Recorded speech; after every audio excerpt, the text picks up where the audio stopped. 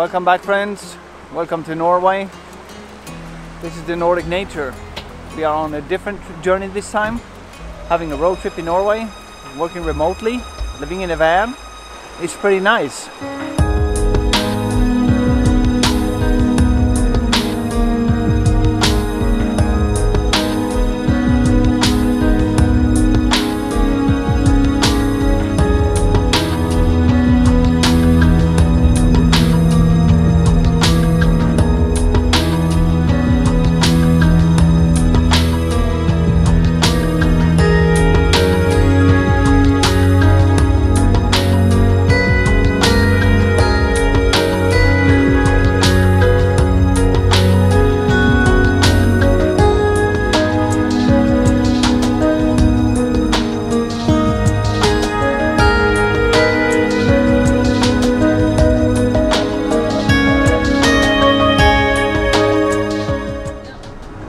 All right, another morning. Greeting, friends. It is Sunday, I believe. It's Sunday. Yes. Yeah.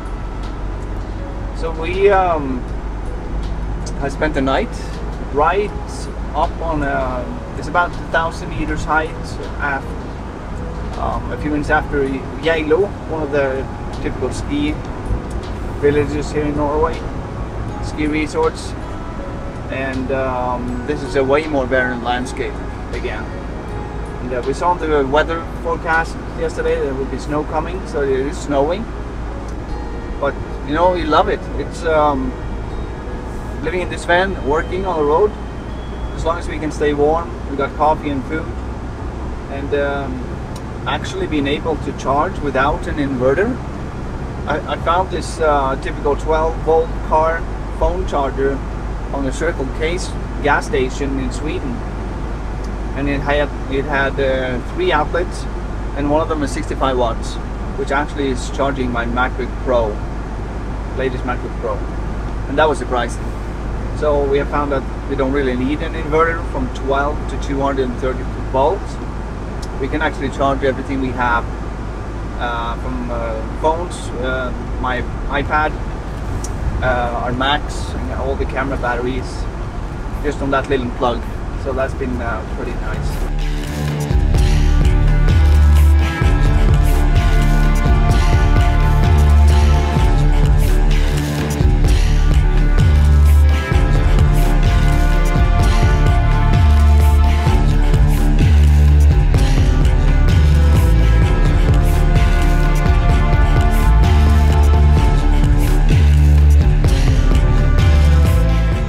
Okay, so we um, stopped here on top of the mountain. We found one of these uh, cozy traditional coffee shops. Um, so I think we'll just have some coffee and breakfast here. Snowing like crazy, so we're hoping that it's not covering the roads on the way down. But since the temperature is around uh, around zero and not too cold, they can do salting on the roads, so that keeps them pretty clean and uh, without too much slush in the road. Okay, parked. Shield Maiden is showering. I'll go in and uh, check out the menu. It is pretty fresh up here and snowy.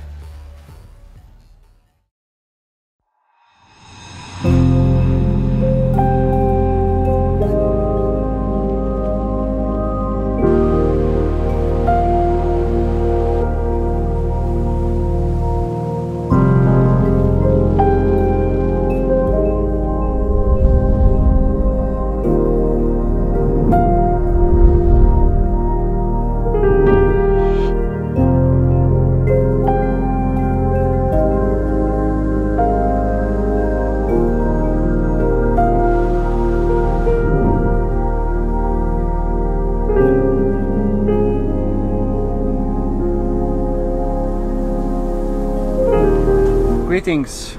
It is uh, what day is it? Sunday. Yeah. Yeah. Um, it has been a few hours of drive today, and um, I mean we had no clue where to go, no plan, and we actually basically we drove in the wrong direction, got lost in the tunnel, in a roundabout in the tunnel, we made a wrong turn, and uh, we ended up here. Anyway, yeah, so the drive down here was uh, beautiful. Uh, huge, powerful mountains between um, yeah between the mountains basically coming down from the mountain uh, you know into this valley. Beautiful place. Powerful strong Norwegian nature. And as we come down here now we can see that finally the weather is lightening up and we got some sunshine coming through and uh, hitting the valley here. Uh, the shield maiden here she found a Viking valley. I need to buy my axe. I haven't uh, I haven't found my axe yet so I need a new one we can survive in the wild and I can protect my woman and you know build my village and, and hunt and gather meat and um, yeah grow my community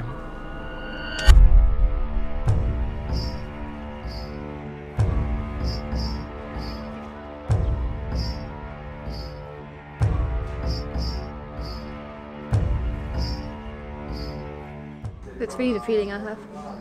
Like that wise woman in the village. That people came to to ask for consulting.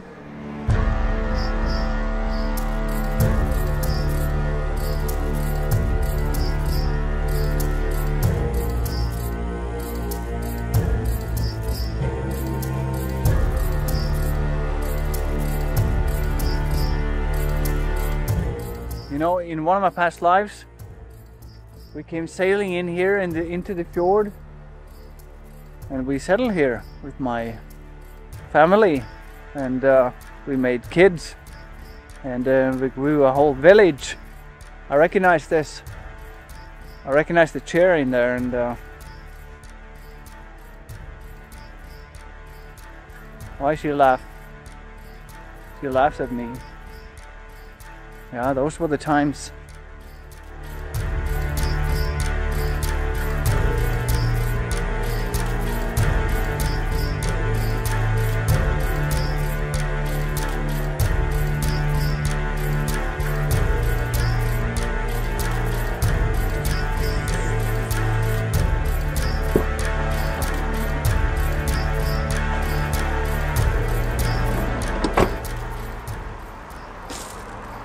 All right. Yeah, we found a place to park. I'm to stay here for tonight, just by the river. And uh, we are right in the middle of these two um, huge mountains here in this valley. And um, yeah, we're trying to trying to charge for the parking here, but um, yeah, we're not paying for that. Um, this one of these uh, typical parking companies in Norway trying to uh, you know claim spaces here and there and earn money on um, every single par, car wanted to have freedom. I'm not supporting it. Um, instead, we're just hanging out here for for one night. Um, going to cook some food, and uh, tomorrow I think we're going to go back to the Viking village and have a look inside. And you know, I'm kind of attracted to uh, the history and um, and the lifestyle and uh, you know the the rawness and the power around uh, the Viking history, the Viking craftsmanship and the way of life, you could say. For this evening, I'm going to spend some time in the van. I've got work to do, and um, hopefully we'll wake up to sun tomorrow, because that's going to make these green valleys look way more brilliant and bright and beautiful.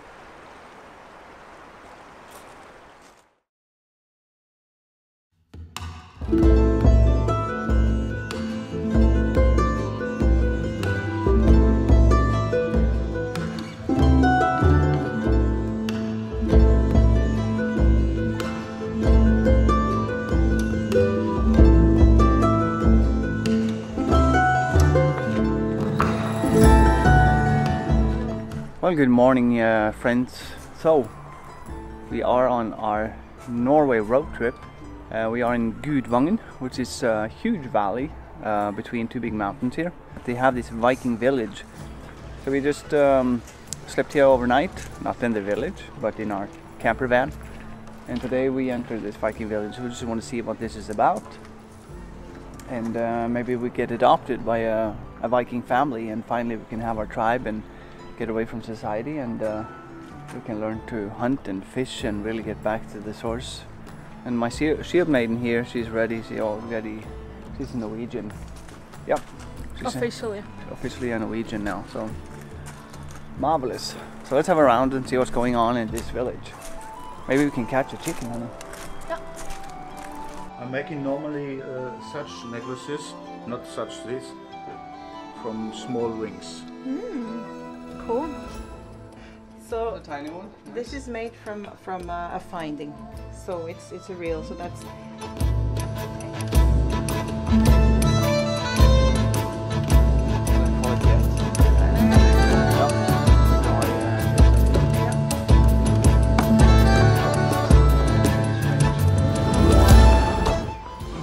Similar bow I have myself. I do have a traditional Viking bow, handmade uh, in south of Norway actually.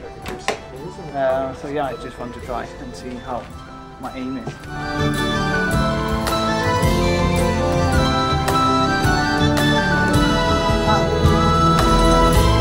They sold what, four, six, eight, two more. And what do you do with that? We'll put it on a loom for weaving fabric. If you go to the chieftain's hall, there's a loom that has the, the work put on it. You can see how it will look when we're finished. It's relaxing. it was. you have to have patience, that's for sure. Yeah. But, um, yeah, so I'm glad you found a place, you know?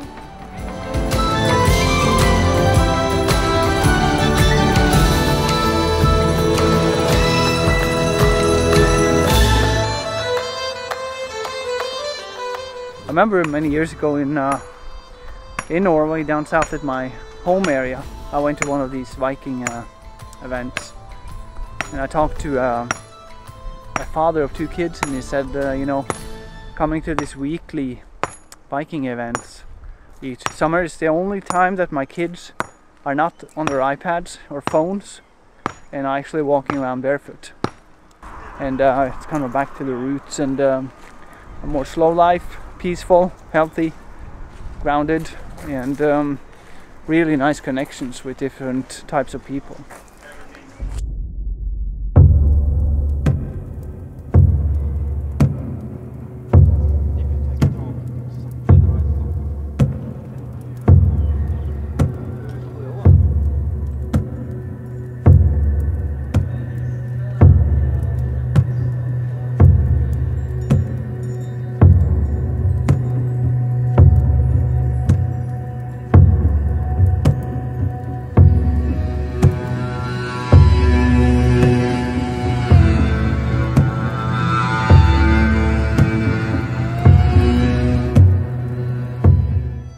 My sweetheart went to the van to do a coaching call. I'm walking around and I'm getting synchronized with super nice, interesting people. So I just visited uh, the blacksmith and uh, he was working hard. Um, very interesting guy with an interesting story and he's, what can we call it? The awakening process he have had. And uh, we got into some really deep metaphysical topics. So it's so interesting to see when we are traveling around this time and we are seeking solitude and we want to filter our reality from the common life. And now we get synchronized with uh, with um, deep thinking awake people.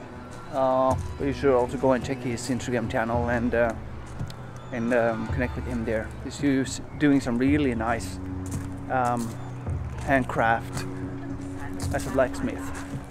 Very interesting